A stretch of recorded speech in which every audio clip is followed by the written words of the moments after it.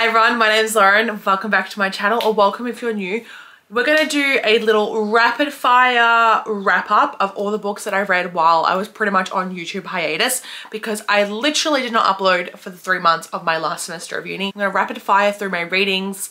If you want to read a full in-depth review and description of this book, I will link the books and my reviews down below in the description. I'm still working through some of my reviews, um, but as I do them, I will update the links so that you have them. So you can reference back to this if you want my reviews, um, or just follow me on Goodreads. And as I update them, you'll see them in your feed. So that's what I'm gonna do. We're gonna go through each of the books and go from there. Also, this is my new setup. I have new shelves, new vibe. Tell me what you guys think. Um, there is going to be some books filling in this spot and some books filling in that spot. I'm just waiting for some more books to arrive and I have some signings that are coming up soon so they'll all be filling in that.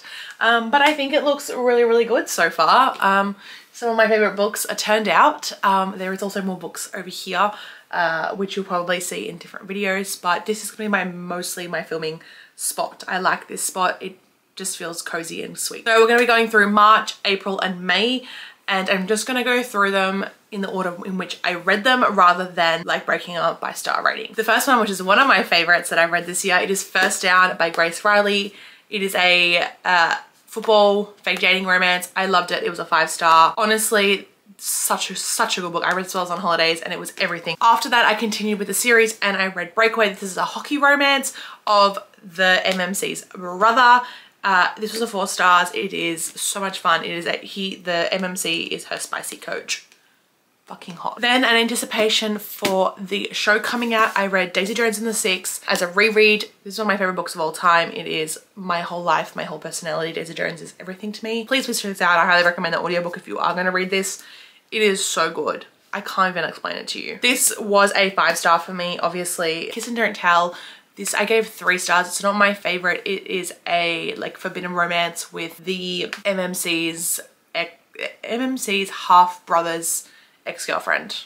It was fun, it was sweet, it was really, really funny. Just not my favorite, didn't fully grip me. It's a solid three star read. Then I listened to Radiant Sin by Katee Robert. This was also a three star. It's a workplace romance, not my favorite, but it was a fun, spicy time. Those are three little words. This is a brother's best friend accidental pregnancy book and my God, was it so much fun. Solid four star read. Highly recommend you guys checking this one out. It was one of my favorites and I do not like the accidental pregnancy trope. Things we leave unfinished. This is like a historical literary fiction book. So beautiful. I loved it. I loved the historical flashback part of it more than the present time romance. Uh, I gave it a four stars. It was a really, really good emotional read if you want that. Right man, right time. This is an age gap hockey romance as well. It is a four star for me. Silas Taters can fucking get it and he has a pierced eggplant. Highly recommend you guys checking this one out. It is fake dating. Things We Hide from the Light by Lucy Score. This was a three star. I didn't love it. I honestly could not tell you anything about it other than I was not impressed. It was just okay. I was entertained enough. Forced proximity kind of style book. Just not my favorite. Solid three star read. Drew A Week to be Wicked by Tessa Dare. Again, I don't remember much about this, but I gave it a four stars. I definitely enjoyed it at the time. I think it was like a forced proximity trip away. It's coming back to me but I think it was pretty good, nice and spicy. Accidentally Amy, I gave this a three stars. It was closed door, not my favorite, a little bit cringy, but it was fun. Lady at Midnight, this was a four star. Again, another Regency romance. I remember nothing about this, but it was fun, I think. I gave it a four star, so it must have been. And then the last book I read in March was Say You Swear by Meagan Brandy. I gave this a four stars. The ending completely blindsided me. The last 30% is insane. The first sort of 70% really, really dragged. I wanted it to be just a little bit shorter. It was like not what I was expecting. Parts sort sad. I was not expecting it at all. I recommend it. It is a long book, so if you can get the audiobook, I would recommend going that route, but it's a long book and it probably could have been just a little bit shorter. So I started April with an interesting read. I read Credence by Penelope Douglas. This was weird. I gave it two stars. Strange. Really strange. I didn't like the ending. It's very taboo, but I just didn't like the ending and it was odd. So um, if you want a spicy time and you like taboo, I recommend reading it. If not, give it a skip. Then I read two more Tessa Dare novellas. They were Once Upon a Winter's Eve and The Beauty and the Blacksmith. Both of these I gave three stars. I remember nothing about them. From there, I read The Ritual by Shantel Tessier. Holy moly, I adored this so much. So fucking much. I gave it five stars. It is dark, check your triggers, but if you want a fun, spicy time, it was so good. The smut was there and the plot was there. It was fantastic. Like it is the perfect amount of plot and spice. Honestly, fantastic. Five star, recommend it to everybody that is wanting to read dark romance. Then I listened to Satan's Affair, three star, was a novella. The ending was wild. Then I started the Bergman Brothers series on audio. The first one was Only When It's Us. I gave this a three stars. Wasn't my favorite romance, was a little bit strange, but it was a good time. Haunting Adeline. And I also gave this three stars. It was fucking strange. It was spicy, but there was no substance. I wanted more. It was really, really long. I also gave the second book three stars, Hunting Adeline. Again, really, really long. I think this book should have, this series should have been an 800 page like standalone. It did not need to be 1200 pages. It was unnecessarily long for not a lot of character development, not a lot of plot, and not a lot of growth. It was just subpar. Then I listened to Always Only You by Chloe Liese, also part of the Bergman Brothers series. This was a four stars. I really love the representation. It was a the FMC is prickly. It is so much fun. So I highly recommend. Then I listened to Under Locke by Mariana Zapata. This was not my favorite. It was a three stars, probably my lowest rated Mariana Zapata. The rest have been four and fives. I read my first ARC ever and that was Stealing Home by Grace Reilly. I was so honored to receive an e-ARC of this and then I just recently purchased this. This was a four star for me. I really enjoyed it. It is baseball and she is a woman in STEM. It's Reverse Grumpy Sunshine. Honestly, this series, you cannot go wrong. They are all on KU highly recommend. I cannot wait for the next one. Into the Tide by Laura Pavlov. This was my first Laura Pavlov and I gave it four stars. It is Brother's Best Friend and she is a virgin. Virginia Tripp is not one of my favorites, but Brother's Best Friend is one of my favorites. I loved it. It was so good, so funny, so sweet. Defending the Player by Eloise Tynan. Eloise Tynan is one of my favorite human beings in the entire world. She gifted this to me as an e-arc during Rare when I met her. She was amazing. I gave this five stars. This is like a spicy basketball romance. I'm obsessed with it. Honestly, it was so good. Five star. I love the characters. I loved it. Honestly, can't recommend. This, that, that series, when I collect it next weekend, will be going in this shrine spot right there so you can look at it every time I'm here. I went on a little Meagan Brandy binge before Babe. First one that I read in that binge was Dirty Curve and I gave this a five stars. I loved this. This was like a uh, tutoring baseball romance. So good. I read this within under 24 hours because i just could not put it down.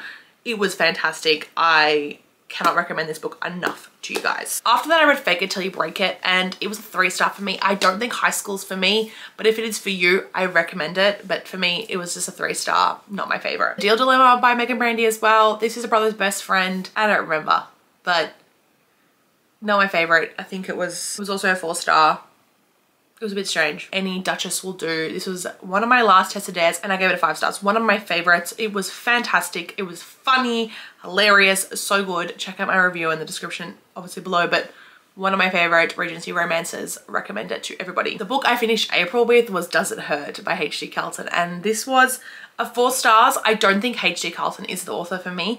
I will read the Sibby duet that is coming out because I loved Sibby and I'm very keen to see where her story arc goes. Does It Hurt was okay solid four star. And then in May, I'm gonna smash through my readings on the Salacious Players series. If you don't know anything about, this, about the Salacious Players series, this is a spicy sex club.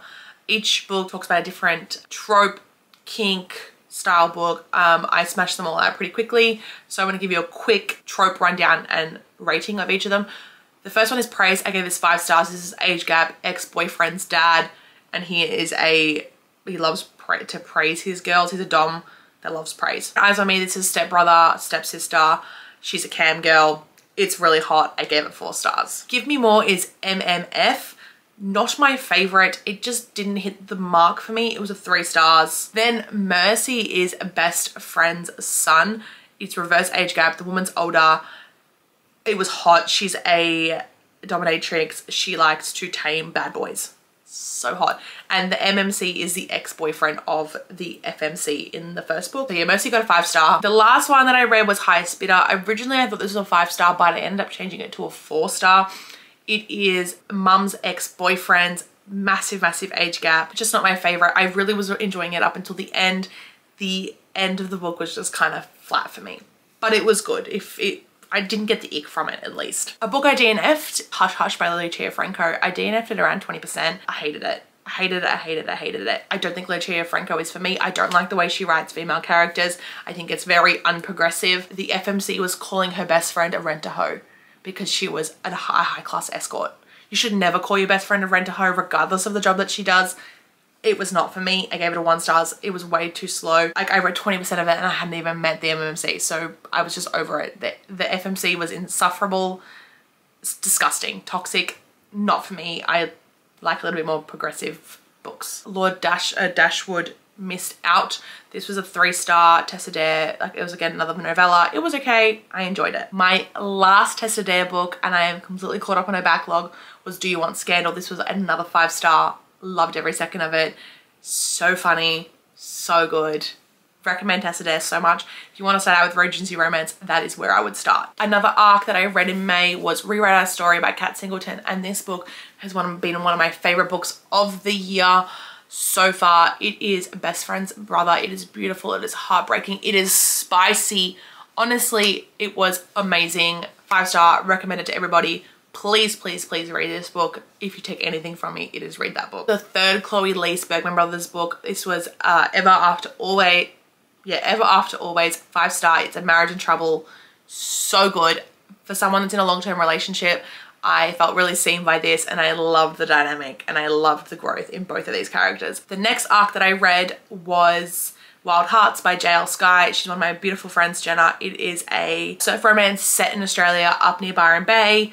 Uh, it is a best friend's brother and it's like a second chance they break up and some things happen and Ren is going through some trauma that she's working through and it was so sweet. I just wanted a little bit more growth from them but it was a four star. Then as an arc I read Under the Stars by Laura Pavlov. That was a four star for me.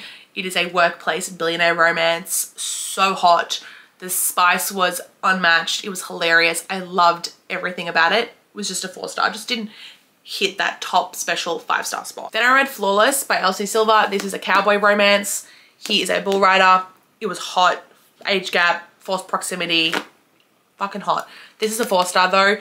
The couple weren't completely memorable and the plot wasn't completely memorable. The spice was memorable, that's what I remember most, and the anger that I have towards the FMC sister was unmatched. The ending was insane. I just wanted a little bit more healing from the sisters at the end of this. But apparently when I get to book four, my my soul will be fixed. So four star read, highly recommend. After that, I read Heartless. This was a five star. This is a single dad and a nanny. So hot. The ending doesn't have one of my, it has one of my least favorite tropes, but it was still good. The way the FMC talks to the little boy was the best. She treats him with such respect and honestly, I loved it. Five star. Daddy Cade will forever be top tier. Any man that's called Cade, I clearly give a five star because yeah, this was a five star. Then I listened to two Mafia books. They were Mafia Mistress and Mafia Darling, both four stars.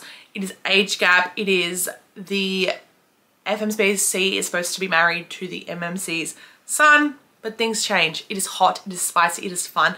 All enemies to lovers, fantastic. Highly recommend this series. It's a fun, spicy, very plot heavy Mafia book. The FMC just bites back. She is amazing. Francesca will be forever one of my favorite FMCs. It's just not a five star book for me. I just didn't fully love the relationship to give it a five stars, but really good five, four star read. If I did half stars, it'd probably be like a four and a half, but I don't do half stars. As an arc, I read Hungry Heart by Missy Walker. She's an Aussie author. This is a virgin and her boss. He's a CEO, she's an intern. It is age gap, it is hot, it is steamy. He's a bit of a dom fucking hot. Highly recommend. Reading this, it is set in New York. You honestly cannot go wrong with this, so please check this out. Then I read Magnolia Parks. This is my whole personality now. This is Toxic Gossip Girl if you don't know anything about it. Honestly, you cannot go wrong with this book. Please check it out. If you want like a train wreck in a, in a reality show, this is the book to read. It took me a whole month to read but it's just because I wasn't wanting to read paperback. The last book I read in May was All Roads Lead Here by Miranda Zapata. This was a five star. It is a Grumpy Sunshine, age gap, Forced Proximity book. The Spice hit a little bit earlier than some of our other books. I highly recommend Maria Zapata and I really recommend All Roads Lead Here. It was the best sort of slow burn small town book I could ever ask for. That was all the books that I read while I was on hiatus. I hope you guys enjoyed this. I hope you guys check out my reviews and check out my TikTok. It was a crazy few months. There were some really bad ones. There were some really good ones. A range of ratings. So yeah, please like, comment, subscribe. Tell me you've been reading over the last few months and I'll see you guys in my next video. Bye guys.